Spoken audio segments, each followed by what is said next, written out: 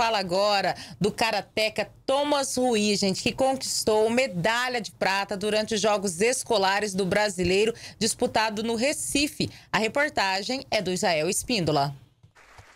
Aplaudido pelos amigos da escola, foi assim que Thomas Ryu Kobayashi, de 14 anos, foi recebido na semana passada ao retornar para a sala de aula após conquistar a medalha de ouro nos Jogos Escolares Brasileiros disputado em Recife, Pernambuco. Esta medalha veio na modalidade Shiai Kumite, o combate do karatê, e foi conquistada nos segundos finais em uma luta emocionante contra o karateca Arthur Carvalho de Brasília, do Distrito Federal.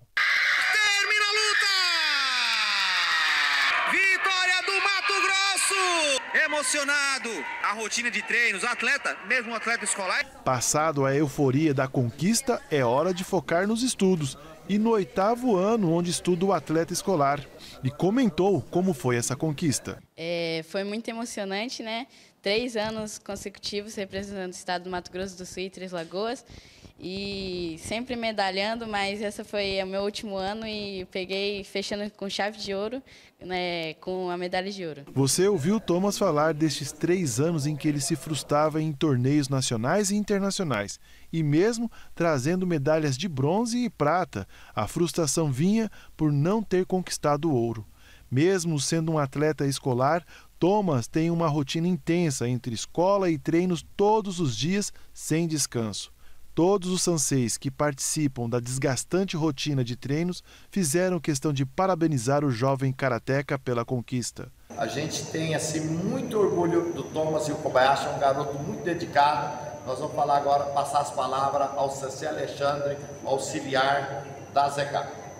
Só, a gente queria, no nome da associação, toda a diretoria, parabenizar o Thomas. São três anos representando o estado do Mato Grosso do Sul a cidade de Três Lagoas nos Jogos Escolares, medalhando nos três Jogos Escolares. Isso é muito difícil, esse é fruto do esforço dele. Parabéns, Thomas. Passar para o nosso colega aqui, o Murilo Sensei, vai falar um pouco mais para vocês.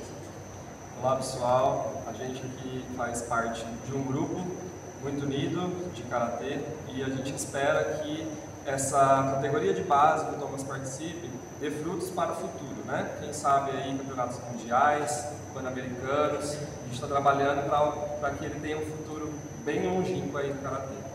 Sensei Carlos. É isso aí, pessoal, nós estamos aí torcendo para cada vez mais o Thomas vai subindo, subindo, a gente quer ver no Mundial, ok? Então vamos torcer muito para ele, que vai vir vários jogos, vários jogos, várias competições e vai chegar até o Mundial. Os, os, os, os. Este foi o último ano do Karateca 3 Lagoense na Sub-14. A partir de agora, vai se dedicar aos estudos e se preparar para o Sub-15, onde a categoria é muito mais difícil.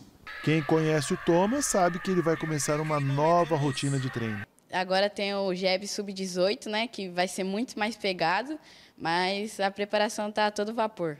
Na escola, professores e a coordenação comentaram quanto o atleta é dedicado e a presença dele serve como referência para outros alunos. É um orgulho para a gente, né? A gente sabe do, do esforço dele, acompanha, a gente está sempre ligado na, na participação do Thomas, tá? E é um orgulho para a gente ter ele dentro da sala de aula, né? Representando o nosso estado, representando a turminha aqui do oitavo ano AM também, né? A gente tem um orgulho muito grande de, de tê-lo aqui conosco.